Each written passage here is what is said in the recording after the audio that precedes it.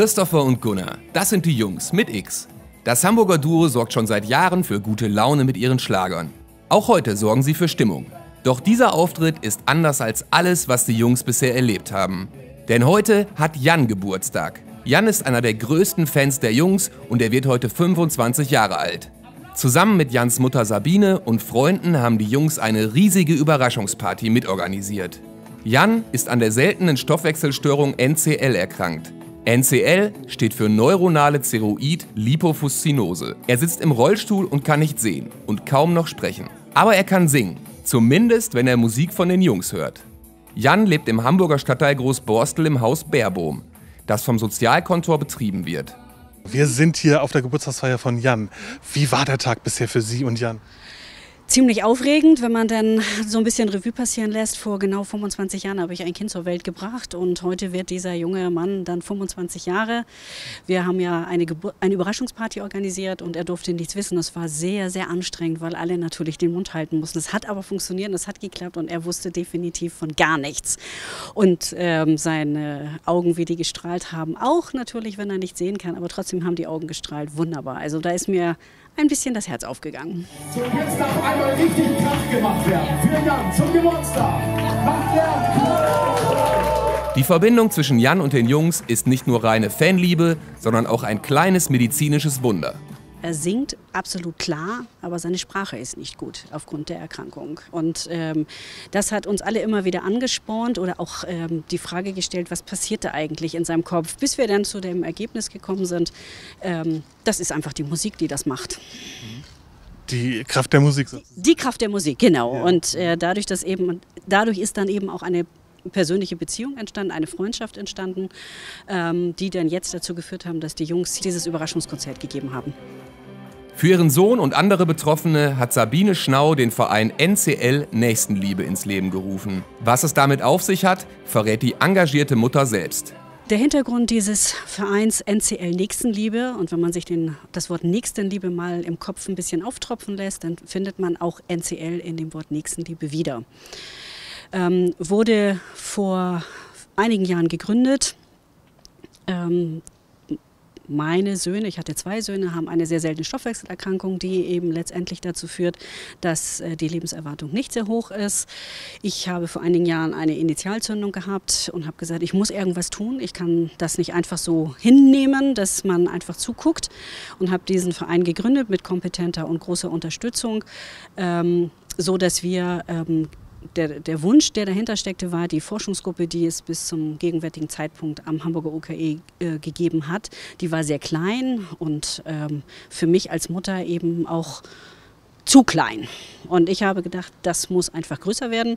Und ich möchte gerne äh, mit meinem Engagement, mit meiner Unterstützung dafür sorgen, dass mehr Menschen mh, mm, in, an dieser Forschungsgruppe mitarbeiten, um so war mein Traum und mein Wunsch, je mehr Menschen daran arbeiten, etwas zu finden, was diese Krankheit stoppt, vielleicht heilen kann. Ähm, und das haben wir bis zum heutigen Tage auch geschafft. Wir können die Krankheit immer noch nicht heilen, aber wir sind äh, dem Geheimnis dieser Erkrankung, die ja mit dem unaussprechlichen Namen neuronale Ceroid-Lipofuscinose heißt, ähm, ein ganzes Stück weitergekommen. Was können die Schlagerplanet-Leser tun, die den Verein gerne unterstützen möchten? Ähm, spenden. Spenden, das äh, würde uns sehr viel weiterhelfen. Also es gibt, äh, der Verein ist gemeinnützig tätig. Wir haben äh, keine Personalkosten, wir haben äh, überhaupt keine Kosten, die dazu führen, dass irgendjemand dafür bezahlt wird. Wir machen das alle ehrenamtlich ähm, und wir versuchen natürlich so viel Geld wie möglich ranzubekommen, dass noch mehr Menschen äh, diese Forschungsgruppe personell verstärken, so dass äh, hoffentlich schneller und immer schneller etwas gegen diese letztendlich tödlich verlaufende Erkrankung gefunden werden kann. Das hoffen wir auch und viel Erfolg weiterhin. Ganz herzlichen Dank. Nicht nur für Jan und seine Freunde, auch für die Jungs war dieses Geburtstagskonzert etwas ganz Besonderes. Es war sehr emotional. Also das ist hier nicht vom Wind so, sondern wirklich von der Aktion, die wir gerade erlebt haben, die wir erleben durften. Wir haben Jan Schnaus 25. Geburtstag gefeiert. Wir haben Jan vor drei, vier Jahren kennengelernt. Jan sitzt im Rollstuhl, ist äh, blind und spricht auch kaum.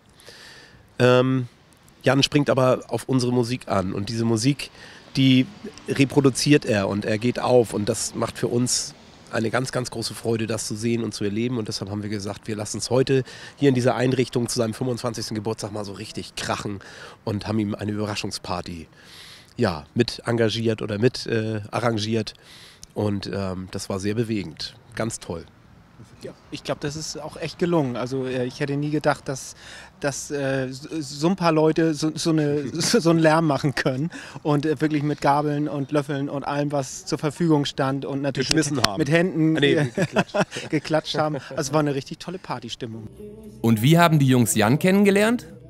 Jan haben wir kennengelernt vor etwa drei Jahren ähm, auf einer, auch einer Wohltätigkeitsveranstaltung, ähm, wo es um behinderte Kinder ging. Und da war Jan einfach nur zu Besuch, ähm, ist da vorbeigekommen äh, und ähm, da hatte Christopher die Aufgabe, an einem großen Glücksrad zu drehen und äh, sozusagen den Glücksboten zu machen, den Glückspaten. Mit und, äh, und allem. nee. Und dann kam Jan also im Rollstuhl und stand direkt vor uns und ähm, dann hat Christopher, ich darf das, ich darf das sagen, ne? Ich weiß nicht, ob Jan den Bericht dann äh, äh hört und sieht, keine Ahnung. Aber Jedenfalls hat Christopher beherzt eingegriffen äh, ins Glück sozusagen äh, und hat, hat das Glücksrad festgehalten, genau an dem richtigen Moment, wo nämlich der Hauptpreis war. Und das war eine Reise und die hat der Jan gewonnen. Ja, und durch diese Begebenheit ist äh, tatsächlich eine, eine, Freundschaft zu der ganzen Familie entstanden. Das heißt, wir haben Jan häufiger äh, sehen dürfen auf unseren Konzerten. Er hat uns besucht und hat immer mitgefeiert und hat unsere Songs mitgesungen. Und äh, wir haben dann auch bei ihm zu Hause äh, teilweise schon Konzerte gegeben. Ja, so ist eine richtige Freundschaft entstanden. Und deshalb haben wir das heute auch sehr, sehr gerne gemacht.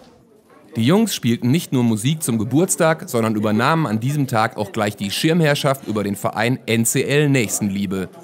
Ja, das war eine ganz offizielle, äh, auch sehr emotionale äh, Geschichte, die Schirmübergabe des ehemaligen Schirmherrns.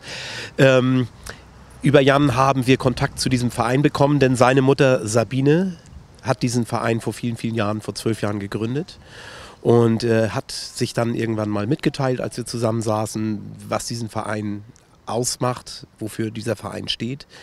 Ähm, und wir haben einfach den Appell in uns geführt, äh, gespürt, weil wir jetzt auch diesen persönlichen Draht zu Jan und seiner Familie haben, äh, wir auch nicht weit privat auseinander wohnen, ähm, irgendwie in irgendeiner Form tätig zu werden. So, und dann sind die Gespräche eben dahin gegangen, dass wir die Schirmherrschaft heute ganz offiziell für den Verein ncl-nächstenliebe.de übernommen haben. Was macht ihr so als Schirmherr und wie unterstützt ihr den Verein? Also äh, das wissen wir im Grunde genommen noch gar nicht. Das lassen wir jetzt mal auf uns zukommen. Wir sind auch selber ganz, ganz gespannt, wo, wo uns das Boot hintreibt. Auf jeden Fall glauben wir, dass wir mit unserer Arbeit, mit dem, was wir tun, eben auf der Bühne ganz viele Menschen äh, sowieso erreichen und dass wir darüber äh, aufmerksam machen können. Über, die, über den Verein. Es geht ja darum, äh, letztendlich die Forschung voranzutreiben. Das ist eine Krankheit, die ist äh, nicht heilbar im Moment noch. Und es geht darum, letztlich Möglichkeiten zu finden, die Krankheit im besten Falle irgendwann heilen zu können, aber auf jeden Fall ähm, die Forschung voranzutreiben. NCL, um was für eine Krankheit handelt es sich dabei? Im Prinzip ist es eine äh, Demenz, die äh, Kinder dann erfahren. Äh, oftmals ist es so, dass Kinder ganz normal aufwachsen, ganz gesundes Erscheinungsbild haben, aber dann im Alter von sechs, sieben, acht Jahren äh, zunehmend erblinden. Äh, und dann führt es auch so weit, dass die äh, Kinder, man sagt, die kognitive Degeneration irgendwann da so weit ist, dass die betroffenen Personen, die Patienten dann eben auch nicht mehr laufen können, also auf einen Rollstuhl angewiesen sind. Ja, und ähm, das sind so die Erscheinungsbilder, die da gegeben sind. Jeden, den das interessiert, der kann natürlich auch im Internet oder auch auf der Homepage ncl-nächstenliebe mal schauen, was diese Krankheit ausmacht.